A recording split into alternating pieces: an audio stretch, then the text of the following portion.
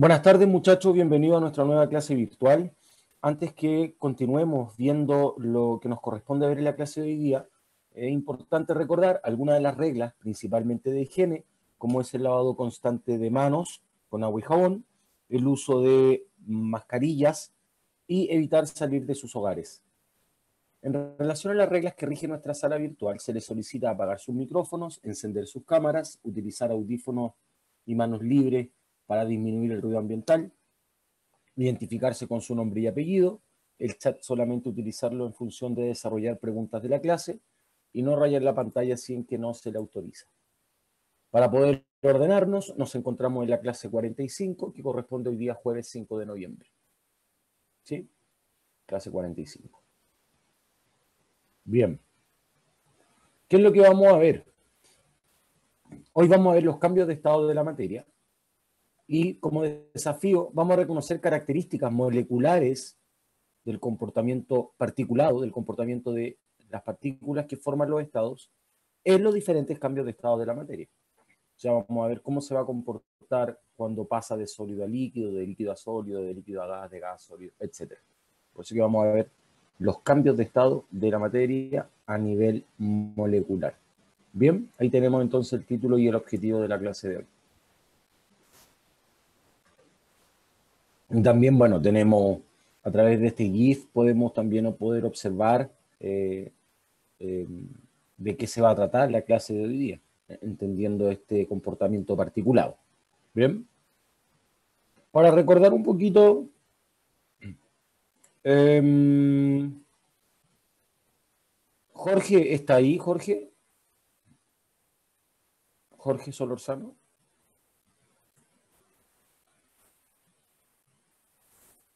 ¿Está o no está Jorge? No está, parece. Yo. ¿Qué? No sé qué me está hablando. No, no está Jorge. Ok. Em, María Ignacia, ¿me escucha? Sí, profe. María Ignacia, ¿me podría mencionar estados de la materia? Líquido, sólido. Perfecto. Ya, gaseoso. ¿Solo conoces esos, María Ignacia? ¿Alguien conoce alguno más? El condensado de Einstein. Perfecto, el condensado de Einstein. ¿Y alguno más? ¿Se nos queda el por ahí? plasmático. El estado plasmático, perfecto. Muy bien. Franco, Franco, ¿a qué, Se refiere, ¿a qué se refiere cuando hablamos de la fuerza de cohesión y la energía cinética? Mm, la fuerza, la energía cinética. Son los cambios de energía, ¿o no? Mm, ¿Cómo los cambios de energía? ¿A qué se- mira, fíjate, ahí te estoy dando una idea. Se refiere al comportamiento particulado, pero en relación a qué o cuál es la relación que tiene el comportamiento particulado con la energía cinética. ¿A qué se refiere cuando Mm, hablamos de la energía Profe, ¿Sí? que las partículas. el- el Espérame, cinético, espérame, Vicente, eh, espérame, Vicente. Espérame, Vicente, un poquito, espérame, que Franco estaba terminando su idea, espérame. Vicente- Franco, perdón. que, em, que las partículas están de diferentes formas. Ok, a ver, veamos si el Vicente. Dame, dame un segundo, Franco. Vicente, Vicente. Eh, corresponde al movimiento del desplazamiento de los átomos Perfecto, Vicente, corresponde al movimiento del y partido. la, y la fuerza de cohesión corresponde al al se- ah, ¿cómo era? Me olvidó. Dijo el Dale, Vicente. dale. Vicente, bien. ¿Se lo olvidó? ¿Alguien que pueda decirnos a qué se refiere la fuerza de cohesión? Vicente, te- La que se encuentra corresponde tan Bien, bien, Harold, a la cercanía, ¿cierto? Qué tan juntita, qué tan cohesionadas se encuentran esas partículas. Por lo tanto, entendiendo la fuerza de cohesión, qué tan juntitas se encuentran las partículas y la energía cinética, cuál es el movimiento de ese comportamiento particulado, nosotros podemos saber en qué estado de la materia está. Y fíjense, me voy a, me voy a retroceder un poquito. Miren, ahí podemos describir el comportamiento. ¿Tiene una alta o una baja energía cinética los sólidos? ¿Es alta o baja la energía cinética? ¿Tiene mucho movimiento o nada? Casi nada. Nada movimiento. Nada, ¿cierto? ¿Y su fuerza de cohesión es alta o baja? ¿Están muy cohesionadas o poco cohesionadas? Muy, Muy cohesionadas. Muy cohesionadas, ¿cierto? Muy alta su fuerza de cohesión. Y en base a esas dos características nosotros podemos describir todos los estados de la materia. Podríamos decir, por ejemplo, que en el estado gaseoso su energía cinética es muy alta y su fuerza de cohesión casi nula. Es sumamente difícil poder encontrar una partícula pegada a otra. Es probable que choquen, sí, pero no, no que estén juntas, no que se apeguen, no que se cohesionen, como en el caso de los sólidos. ¿Bien? 45, María Ignacia. Em, Vicente, ¿me podrías mencionar algunos de los cambios de estado? Ojo, no estados de la materia. María Ignacia ya nos mencionó estados de la materia. Cambios de estado. Eh, fusión, Perfecto. evaporación, condensación, solidificación y sublimación. Perfecto, Vicente. Excelente. Muy bien, muy bien. La pregunta va a subir un poquito aquí de dificultad. De los estados que nos acaba de mencionar su compañero, de la fusión, la solidificación, la evaporación, la condensación y la sublimación, necesito que me mencionen los que absorben energía, o sea, el cambio que necesita absorber energía. ¿Ya? A ver, lo escuchamos. La fusión absorbe y la, y la evo- evaporación. Perfecto. Y la ¿Y cuál es el- condensación pierde y la solidificación eh, pierde. Perfecto, muy bien, muy bien, Vicente. Completísimo. Muy bien, Vicente. Bien. Vamos. Ah, ok. Miren, escúchenme. Lo que quiero que yo, que vamos a lograr finalmente, vamos a observar un video en donde nos van a explicar paso a paso el comportamiento molecular de los sólidos, de los líquidos, de los gaseosos y qué es lo que requiere en relación a la energía calórica para que cambie de un estado a otro. Finalmente en nuestro cuaderno tenemos que llegar a tener eso, pero en vez de dibujos vamos a poner el comportamiento particulado que nos va a explicar en este video. Bien, entonces en nuestro cuaderno vamos a desarrollar un esquema similar a esto. Para eso necesito dos lápices de colores, de diferentes colores, por favor. ¿Ya? Si tiene uno, bueno, a uno lo, lo- le pone absorber y el otro liberar energía. Entonces, este- aquí, ¿sí? yo tengo lápices de diferentes colores en este rato. Bueno, pero mira, por último hace uno con rayitas y otro con puntitos, y ahí tú vas a diferenciarlo después cuando tengas colores, lo, lo marcas. ¿Ya? Entonces, vamos a tomar atención y a medida que la profesora nos vaya explicando, nosotros vamos a ir completando nuestro cuadro. ¿Queda claro? ¿Sí? Bien, atención, atención. Todos con su lapicito en su cuaderno. Vamos a hacer el esquema que nos van a explicar. Hola y bienvenidos a todos. Vamos a trabajar sobre los estados físicos de la materia y los cambios de estados físicos. Los sólidos tienen forma propia. Quiere decir que si dejamos un sólido en un lugar, va a conservar la misma forma. Pero cuidado, no todos los sólidos son duros. Tenemos sólidos blandos que podemos deformar, pero si yo dejo este, esta tela sobre una mesa, va a conservar su forma. Tenemos también sólidos duros, como por ejemplo este tubo de cartón, no lo logró deformar. Vamos a encontrar también sólidos maleables, otros dúctiles que podemos estirar o deformar. ¿Por qué tienen su forma propia? Las partículas de los sólidos son ordenadas, juntas, no se pueden desplazar y están muy unidas. Vamos ahora con los líquidos. Un líquido sabemos que puede fluir. Puede fluir ya que sus partículas tienen movimiento. Las partículas ya no son tan ordenadas, ya no están tan pegadas. Siguen juntas, pero ya tienen un poquito más de movimiento. Es por eso que el líquido se puede desplazar. Vamos a tomar el ejemplo. Aquí tengo un vaso con agua. El agua a temperatura ambiente es un líquido. El líquido toma la forma del recipiente que lo contiene. Dependiendo de la forma del vaso, va a cambiar la forma de mi agua. Observemos la superficie del líquido. Si está en reposo, la superficie siempre será horizontal. Vemos que aquí siempre sigue horizontal. Vamos ahora con los gases, el estado gaseoso. Los gases, pues es el aire que nos rodea.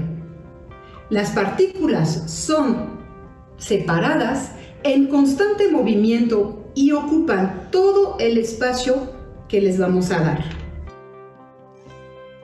Observamos aquí, las partículas ya no tienen contacto, se mueven, se golpean, chocan, rebotan y ocupan todo el espacio. Vamos ahora con los cambios de estado físicos. Esto se da por un cambio de temperatura y o de presión al enfriar o al calentar, al comprimir o expander el objeto, entonces lo vamos a cambiar su estado físico. Hasta el momento, hasta el momento, muchachos, hasta el momento, muchachos, deberíamos tener ese esquema, ¿sí? El esquema molecular. Ahora vamos a ir completando nuestros cambios de estado. Tenemos los estados en su comportamiento molecular. ¿Sí? ¿Hay que hacer eso? Exacto. Ya.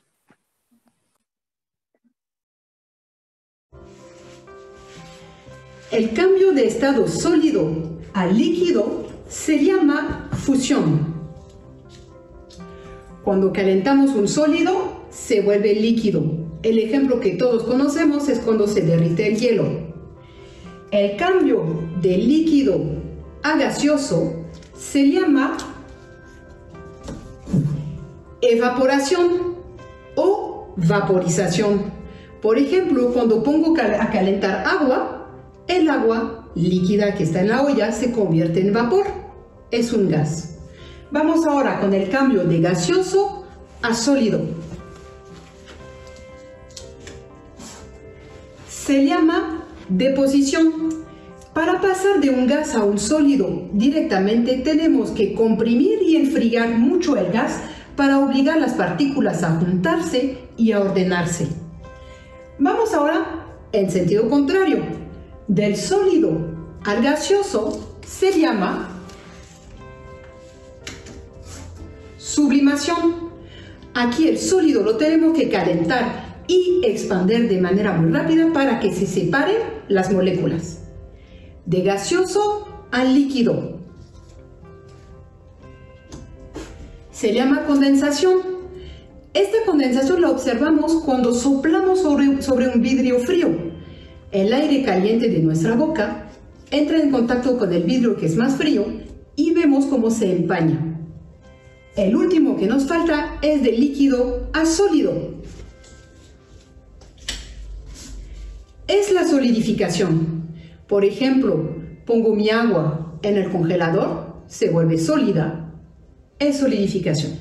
Con esto terminamos este video. Nos vemos en la próxima clase. Entonces, nuestro esquema yo aquí no encontré otro esquema particulado, pero mencionamos ejemplos. Eh, yo necesito que usted me identifique con algún color todas las que absorben energía, como en el caso de la fusión, evaporación y la sublimación directa, y las que van a liberar energía, como en el caso de la solidificación, la sublimación inversa y la condensación. ¿Sí? Porque fíjense, para que de este vapor de, en la ducha, veamos el ejemplo de la ducha, usted se baña con, agua calentita y el vapor hace que, em, el gas hace que eh, se condense en el vidrio, en el vidrio, en el espejo del baño. Pero para que ocurra eso tiene que disminuir su temperatura. Y en el caso inverso, si yo pongo una agüita en una olla, para que se transforme de líquido a gas necesita aumentar su temperatura. Por eso es que es importante identificar la absorción o la liberación de energía calórica en los diferentes cambios de estado. ¿Sí? Así nos debería quedar nuestro cuadro, pero en vez de los ejemplos aquí nosotros hicimos el modelo corpuscular de la materia, ¿sí? el MCM, en vez de estos, en vez de estos ejemplos, de estos dibujos.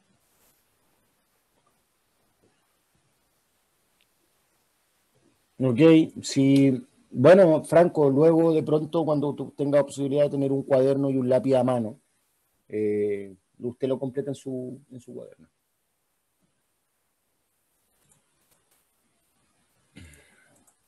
Bien, vamos a avanzar. ¿Podemos avanzar, cierto? ¿A todos les quedó clarito?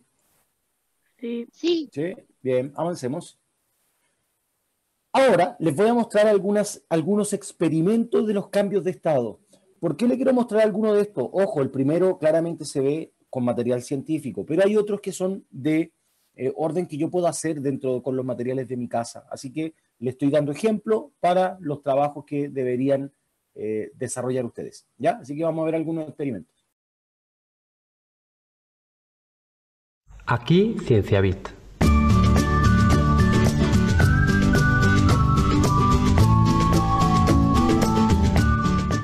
Hoy vamos a ver los cambios de estado del agua. Aquí tengo un trozo de hielo que como podéis ver es agua en estado sólido. Ahora vamos a calentarlo para ver cómo cambia de fase.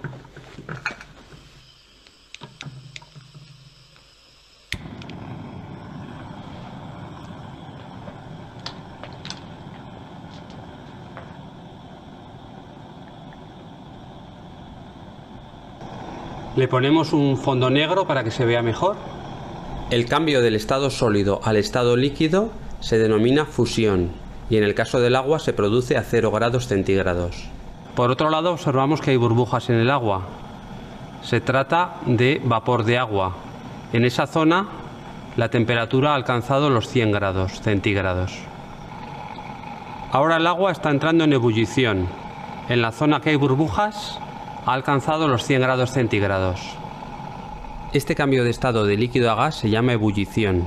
No debemos confundir el vapor de agua con ese vaporcillo blanco que vemos salir cuando el agua hierve. Esa nieblilla se trata de finísimas gotas de agua en suspensión. Es un aerosol.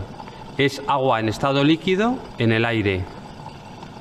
El vapor de agua es un gas invisible. Si dejásemos el agua más tiempo hervir, acabaría por desaparecer del vaso. Al apagar la llama, la temperatura del agua desciende y con ella el número de burbujas. Llega un momento que ningún punto del agua alcanza los 100 grados centígrados. Ahora toda el agua está de nuevo en estado líquido. No debemos confundir los aerosoles con los gases. Polvo, humo o niebla son aerosoles. Se trata de partículas sólidas o líquidas muy finas en suspensión en el aire. Un fuerte abrazo a la novelista y guionista de televisión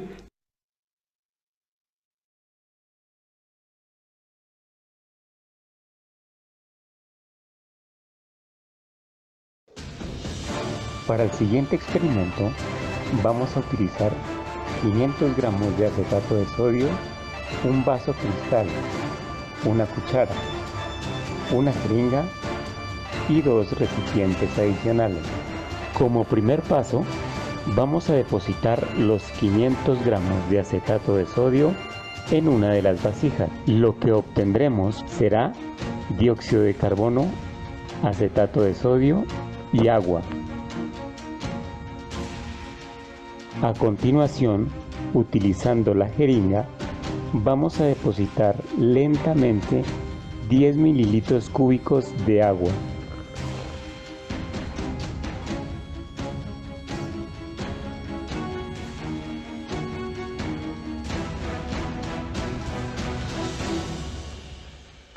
Como siguiente paso, llevaremos la mezcla a baño María durante unos 2 o 3 minutos y luego del proceso de burbujeo, esta sustancia pasará de estado sólido a estado líquido.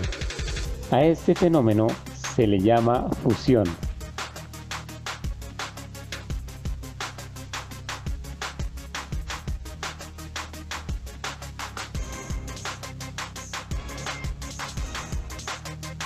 Como podemos observar, el acetato de sodio ya se encuentra en estado líquido.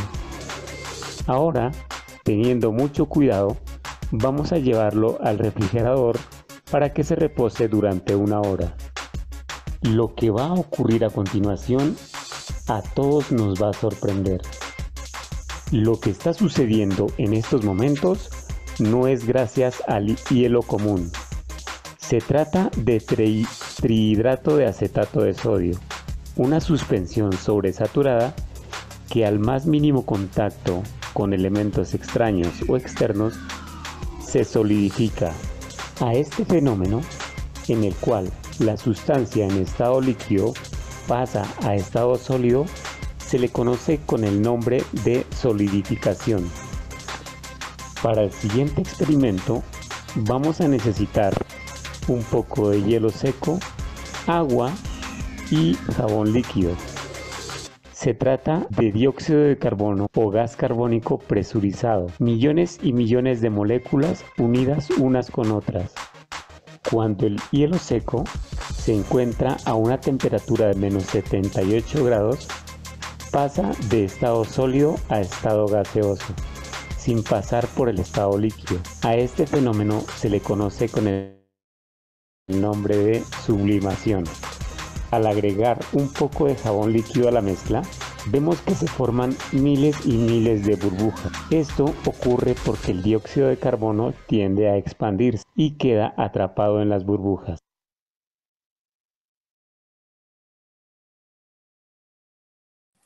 Bien, ¿algunas preguntas? Lo que dije en el chat. Eh, ¿qué, profe, ¿Qué pasaría si hiciéramos un super globo con ello que no sé?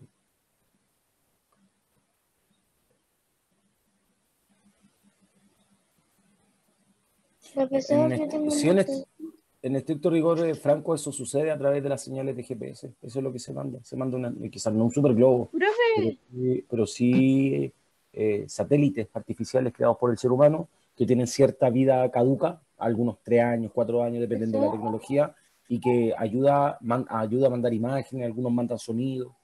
¿Sí? Espérame, vamos, vamos a dar la palabra, no sé quién había pedido ahí, Maite creo.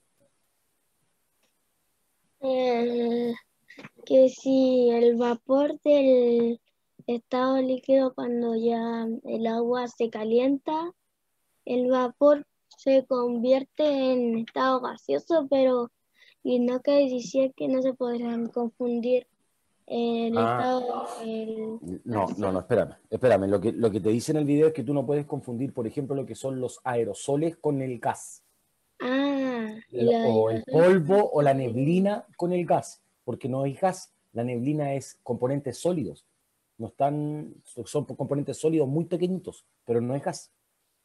Ya, eso es lo que te decía, que no, no, no podemos confundir eso. Los aerosoles, que son partículas chiquititas de, de sólidos, pero que van a, a- a generar, eh, que no tienen las mismas características o el mismo comportamiento que, el- que los gases. ¿Bien? ah, ya.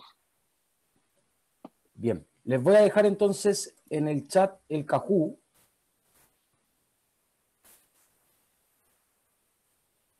¿Alguien más tenía alguna pregunta, parece? Hay 11 estudiantes, los espero en Cajú. Ahí está. Yo no se puede entrar, solo sale el nombre, pero no sale azul o celeste. Ah, espérame. Espérame, espérame. Vamos a hacer algo entonces. Lo voy a sacar de acá mismo.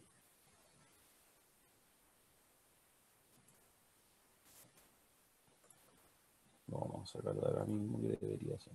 Si es verdad, no se puede. Ahí sí. Ahí sí. Deberían aparecer en la primera página de Cajú. Y ahí está el código. Lo voy a marcar igual. Lo voy a dejar en el chat. Ahí está. Y lo espero, en Cajú.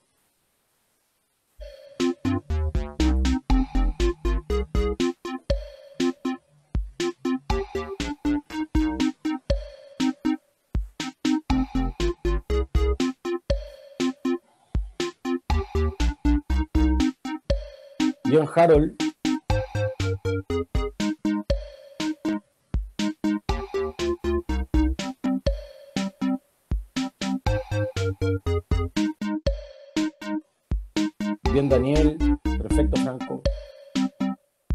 Vicente. Bien Arlene.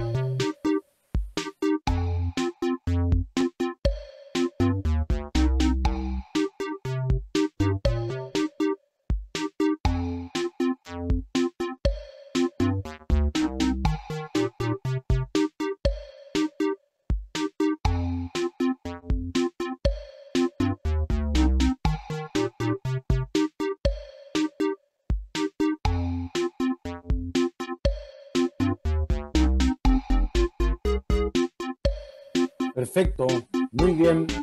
David, bien Maite. Perfecto, Jocelyn. Nos falta. em, bien, Cedric. Nos falta María Ignacia. Nos falta Jorge. Por último, chiquillos, para no esperarlos. Si no, Jorge no puede ingresar, está bien, pero no, no lo esperamos. Pero respondan, por favor, porque un poquito de respeto y no estar hablando solo. Sí, podemos enviarlo de nuevo. Ningún problema. Jorge, ¿no?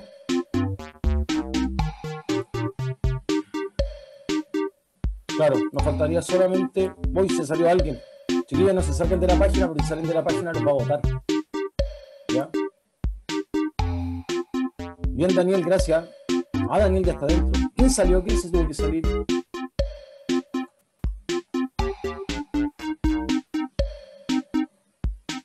¿Quién salió? Aquí lo vamos a ver. Larlen. Ah, no está Larlen. Jocelyn. Está Cedric, María Ignacia. Ahí está. ¿Quién salió? No sé quién salió. Debo suponer, Jorge, como usted no me responde, que no está ahí detrás del computador.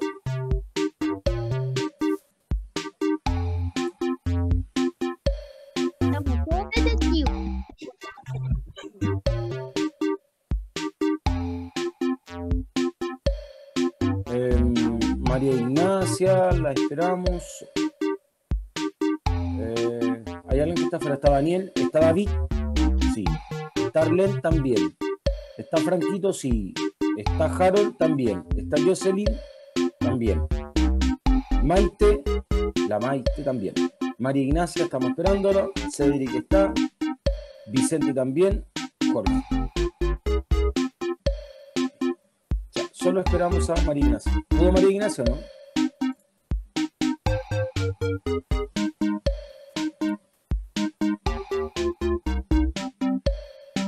Vamos a poner uno Halloween, ya aprovechar que lo queda la última de Halloween.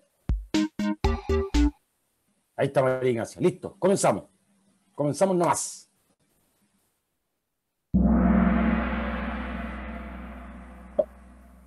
¿Verdadero o falso? El cambio de estado de líquido al sólido. Ay. No, no, no, espérense, espérense, espérense. Déjenme salir de aquí. Porque esa pregunta no sé por qué se queda quedado ahí atrapado. Pero bueno. Ahí sí. ¿Cómo se llama el cambio de estado de líquido a sólido? Rojo, evaporación. Azul, fusión. Amarillo, sublimación. Verde, solidificación. De líquido a sólido. Rojo, evaporación. Amarillo, fusión. Azul, fusión. Amarillo, sublimación. Rojo, solidificación. Perfecto, solidificación. Muy bien. Ahora sí, veamos. Bien, bien. Tercera pregunta. ¿Cómo se llama el cambio de estado de líquido a gaseoso? Fusión, azul evaporación, amarillo solidificación, verde sublimación.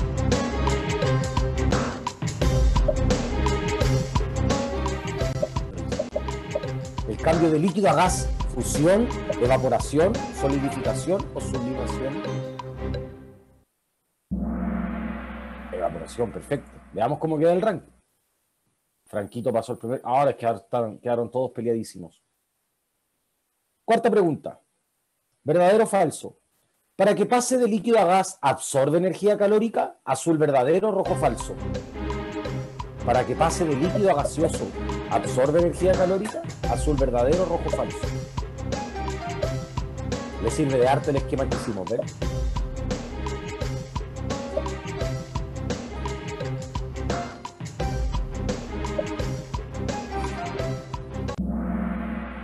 Veamos. Muy bien, ahí cambiaron los lugares, miren. Bien María Ignacia sacando la cara ahí por el género femenino, muy bien. Siguiente pregunta. ¿Verdadero o falso? ¿Los líquidos tienen forma definida? Azul verdadero, rojo falso. ¿Los líquidos tienen forma definida? Azul verdadero, rojo falso.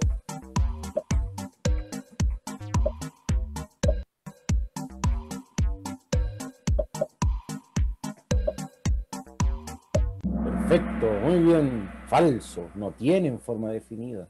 Adoptan la de los recipientes. Harold, primerísimo lugar. Cedric, clase. muy bien. Profe, se me salió la clase. Pero vu- vuelve a ingresar ahí con el código PIN. No, sí, sí, sí un cajú, pero se me salió la clase. Ah, ok, No puedo. ok. Ver la, la quinta. Cambio de estado de sólido a líquido. Rojo solidificación, azul condensación, amarillo fusión, verde evaporación. El cambio de estado de sólido a líquido. Rojo solidificación, azul condensación, amarillo fusión, verde evaporación. Perfecto, fusión, muy bien. Bien. Bien, Daniel, muy bien, Daniel. Siguiente pregunta. El cambio de estado de gas a líquido. Rojo evaporación, azul condensación, amarillo sublimación, verde fusión. El cambio de estado de gas a líquido. Rojo evaporación, azul condensación, amarillo sublimación, verde fusión.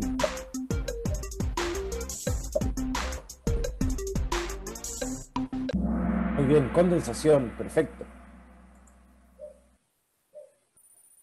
Sigue cambiando el podium. Ahora apareció Vicente. Veamos. ¿Verdadero o falso? Para que ocurra la evaporación se requiere liberar energía calórica. Azul verdadero, rojo falso. Se quiere liberar para que ocurra la evaporación. Perfecto. No requiere liberar, necesita absorber para que el agua se transforme en gas necesita absorber energía calórica, no liberar. Bien. Era, una trampa para poder hacerlos caer. Bien, se mantienen. Muy bien, Cedric. Siguiente pregunta. ¿Verdadero o falso? ¿Los líquidos tienen forma y masa definida? Azul verdadero, rojo falso. Lean bien. ¿Los líquidos tienen forma y masa definida? Azul verdadero, rojo falso.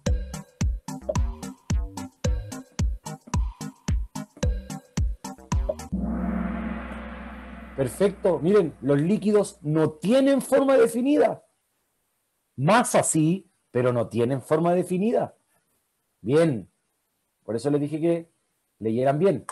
Veamos. Harold se mantiene intratable arriba. Ocho respuestas correctas. Muy bien. Siguiente. ¿Verdadero o falso? El paso de estado sólido a gas se llama sublimación. Azul verdadero, rojo falso.